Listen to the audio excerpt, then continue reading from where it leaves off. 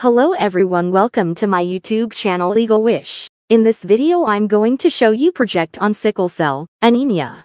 Let's start our project with table of content index, after that do mention certificate and acknowledgement.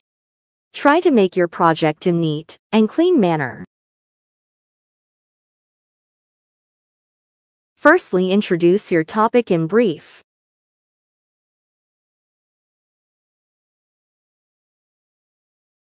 After introduction do mention what do you mean by sickle cell anemia. After that do mention about symptoms and causes of sickle cell anemia. Sickle cell anemia is a autosomal recessive disorder or dominant disorder. If you know the answer write in the comment box.